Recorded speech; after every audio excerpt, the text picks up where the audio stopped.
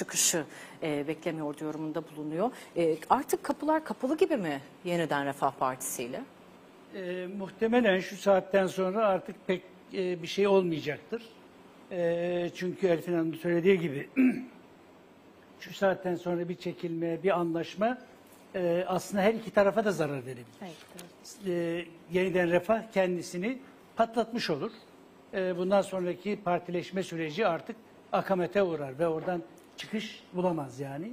Fakat yeniden Refah Partisi'ni aslında AK Parti güçlendirdi. Daha doğrusu Sayın Erdoğan güçlendirdi. Siz söylediniz yani e, Saadet'in genel merkezlerini verdi, e, imkanlarını açtı. E, daha başka imkanlar da var da onlar tabii konuşulmuyor. E, onlar ne zaman konuşulur bilemem. E, fakat esas AK Parti aslında e, 17, e, 14-28 Mayıs seçimlerinde özellikle milletvekili seçimlerinde AK Parti başladığı noktaya geldi 2002'deki. %35'e geldi. Buraya geldiği yer %49,5'tan buraya geldi.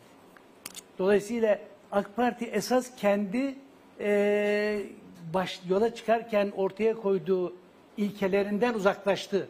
Zaman zaman ben eleştirilere muhatap oluyorum.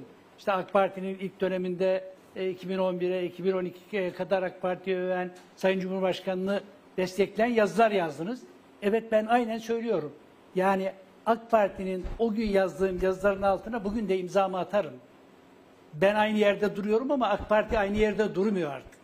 Yani Cumhurbaşkanlığı hükümet sistemi kurulurken zaten aslında MHP'nin bir tek hedefi vardı. O zaman e, bir gazeteci dostum e, bu ittifak açıklamasını e, Sayın Bahçeli yapmadan önce iki gün önce oturuyorlar.